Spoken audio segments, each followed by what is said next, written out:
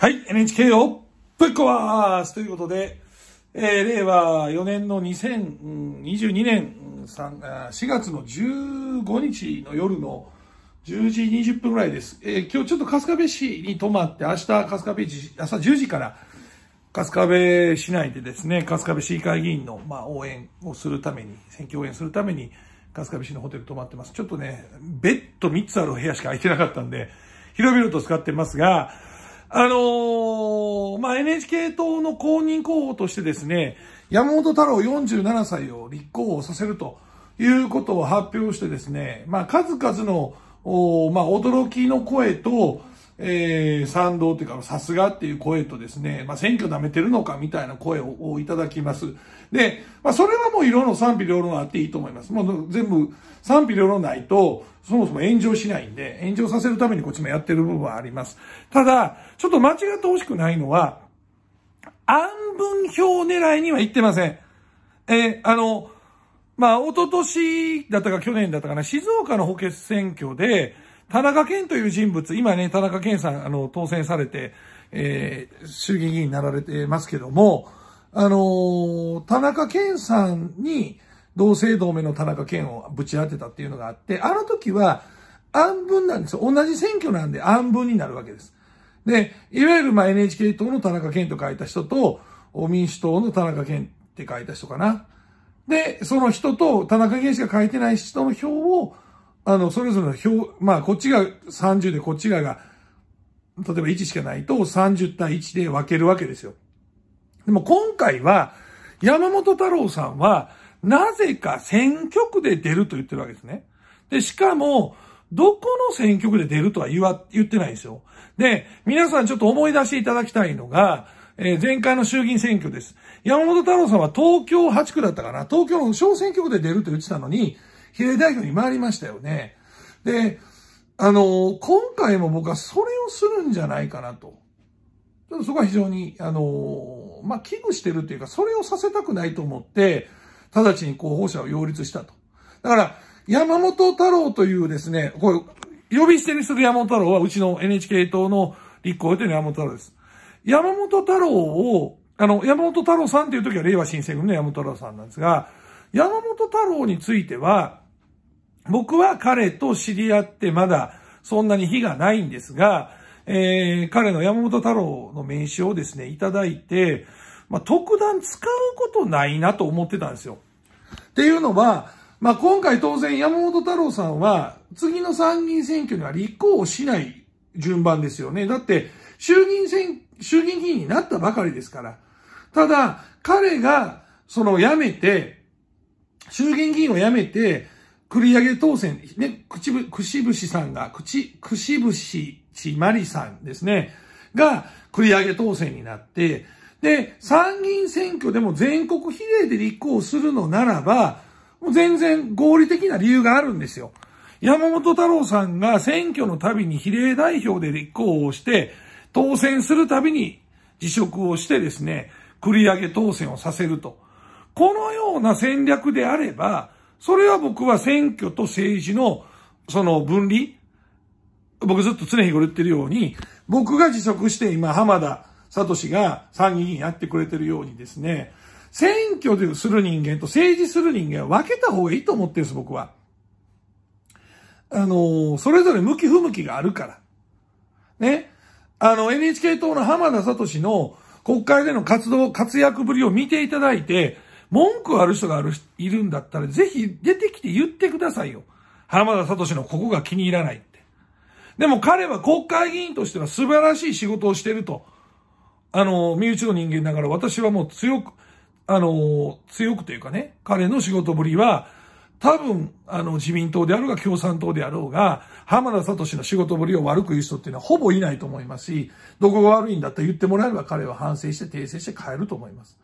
でも、じゃあ、これだけ優秀な国会議員ですが、じゃあ浜田聡が普通に選挙に出てね、当選するかって無理なんですよ。知名度とか、その選挙の強さっていうのはまた違うんですよ、政治家としての。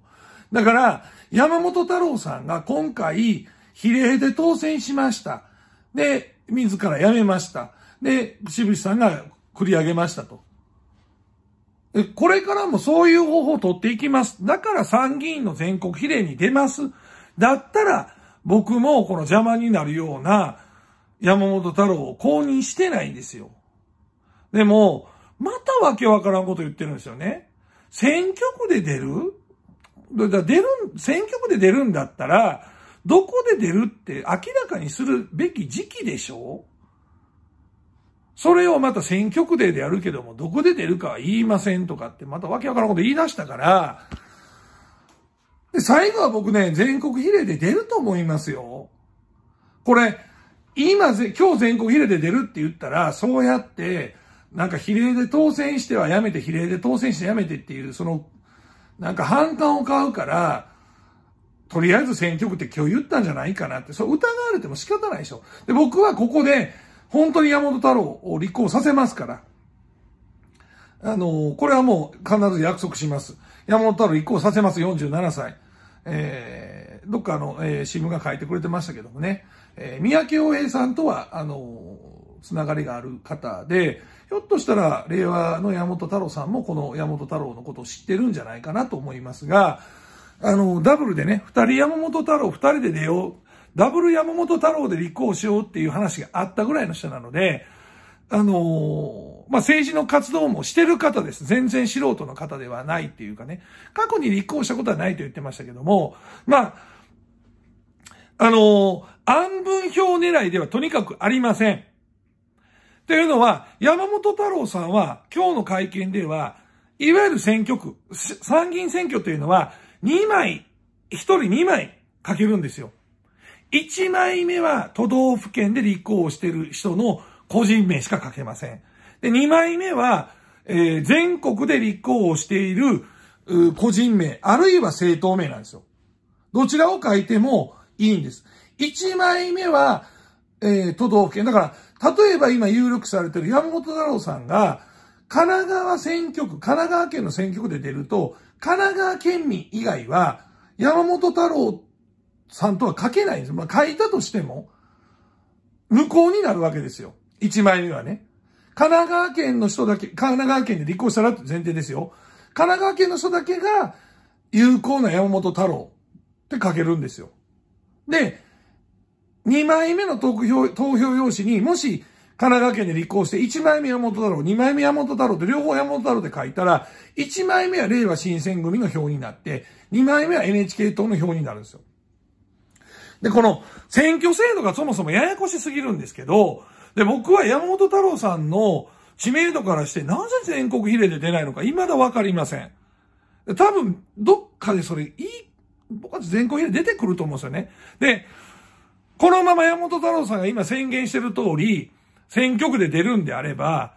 1枚目の投票用紙は山本太郎と書いてください。2枚目は山本太郎と書かないでくださいって、こういう、なんか、山本太郎さんの口から山本太郎とは書かないでくださいっていう言葉が出てくるっていうことになるわけですよ。で、とにかくこれ暗文じゃありません。これね、暗文というのは実は僕も一回同姓同名でやってみたんですけど、これはもう全くもって得がありません。これ得がありません。実際に、だってもう暗分されるから、本当に NHK 党の、その、前回で言えば田中健に入れたい人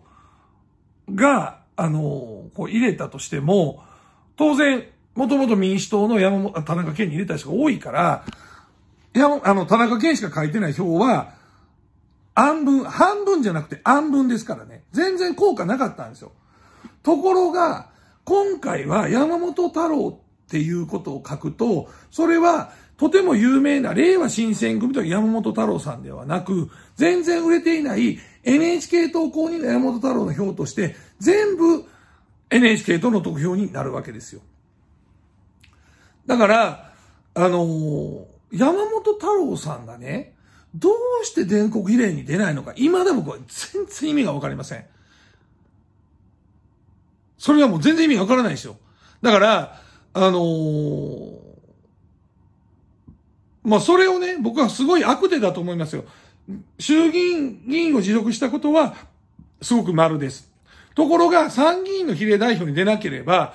彼はもし当選したら6年間、参議院議員をしなきゃいけないってなりますよね。で、しかも、今度辞職しても繰り上げ当選にならないんですよ。選挙区で当選した場合ね。だからもう全くもって悪手だと思うんですよ。何を考えてるのかわかりません。ということで、まあ山本さんの、まあ悪口になっちゃいますけども、ちょっと本当に何考えてるかわかりません。で、じゃあ、立花お前何考えてるんだとか、選挙をおもちゃにするなとか、こういろいろとこう書かれてるので、はっきり言います。僕は、